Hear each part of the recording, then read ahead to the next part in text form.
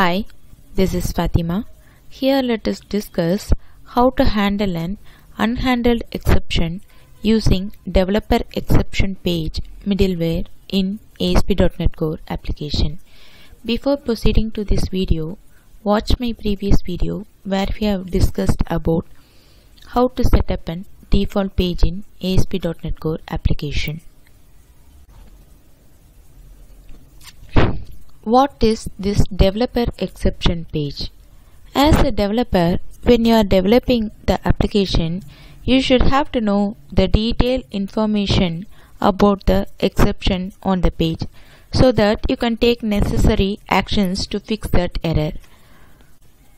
If you want your application to display a page that shows this detailed information about the exception, then you need to use use developer exception page middleware.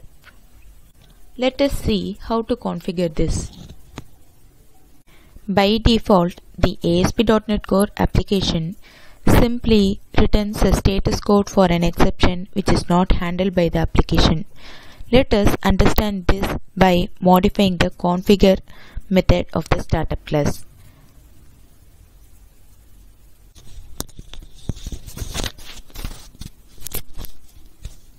Remove this part of code.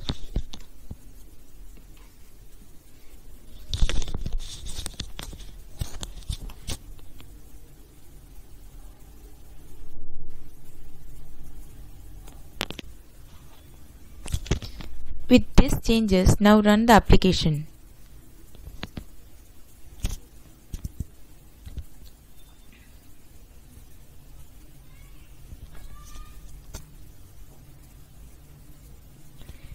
You will get this output. It gives you the status code 500 which means internal server error. But as a developer, when you are developing an application, you should have to know the detailed information about the exception on the page so that you can take necessary action to fix the error. In order to display a page that shows the detailed information about the unhandled error, you need to use use developer exception page middleware.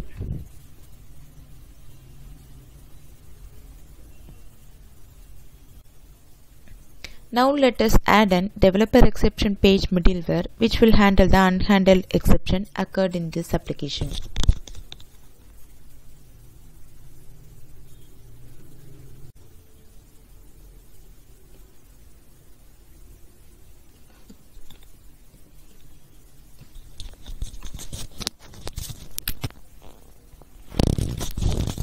With this change, now run the application.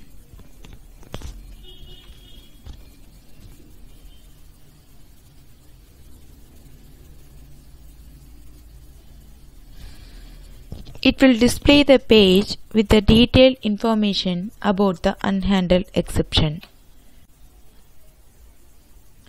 This developer exception page contains four tabs stack, query, cookies and header. This stack tab gives the information of the stack trace which indicates where exactly the exception occurs, the file name and the line number that causes an exception. This query tab gives the information about the query string. We are not passing any query string value in the URL so we are not seeing any information here. Let's pass some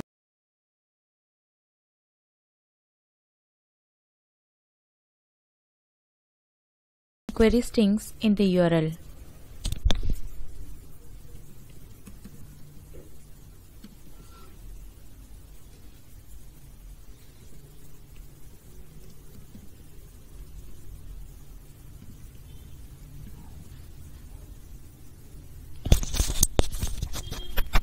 Now reload the page. Go to Queries tab.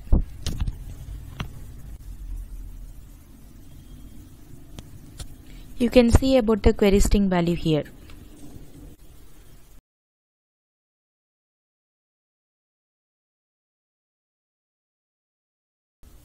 This cookies tab displays the information about the cookies set by the request and we will discuss about this query and cookies tab in detail in our upcoming videos. This header tab gives the information about the headers which is sent by the client which makes the request.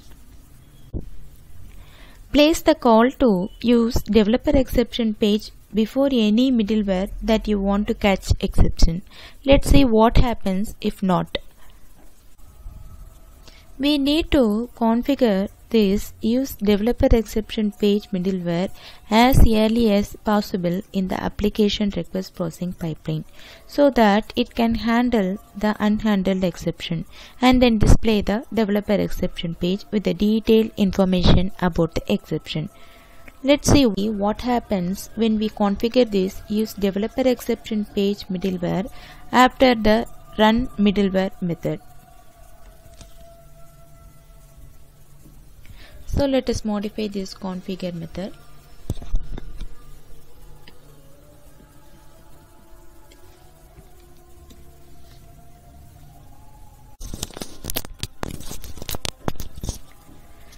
With this change, if you run the application,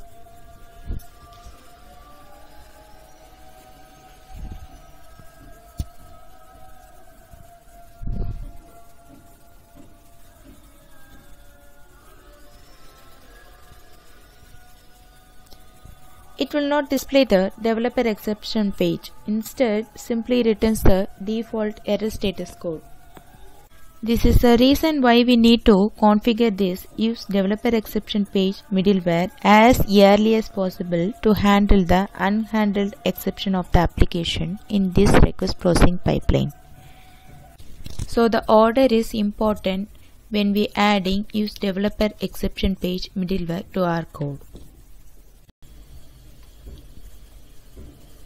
We need to enable this developer exception page only when the application is running in development environment.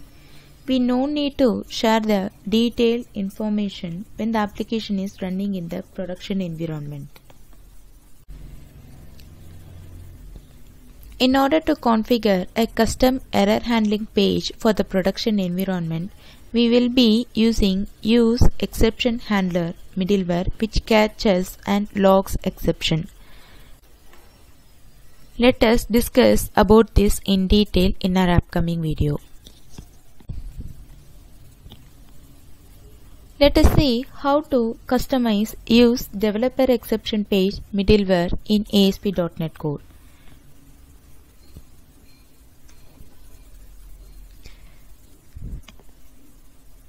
The point you need to remember is that whenever you want to customize a middleware component in ASP.NET Core, then you need to use the respective options object.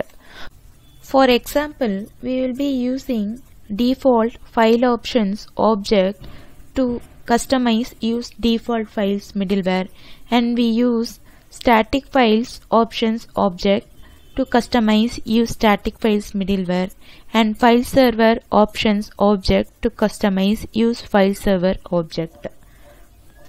Similarly, if you want, then you can also customize use developer exception page middleware by using developer exception page options object.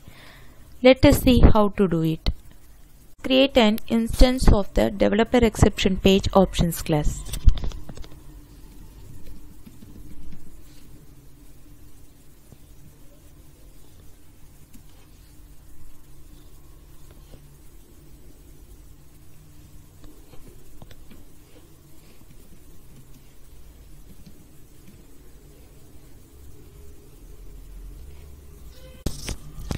Let us add some source code line count property of the developer exception page options class which specifies number of lines of code to include before and after the lines of code that cause the exception. in place. Now let's run the application.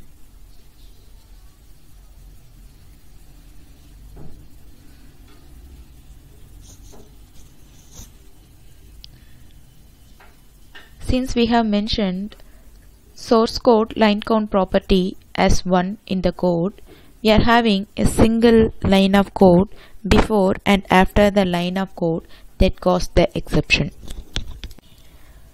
Hope you enjoyed this video. Our next video is about environment variables in ASP.NET Core. Thank you.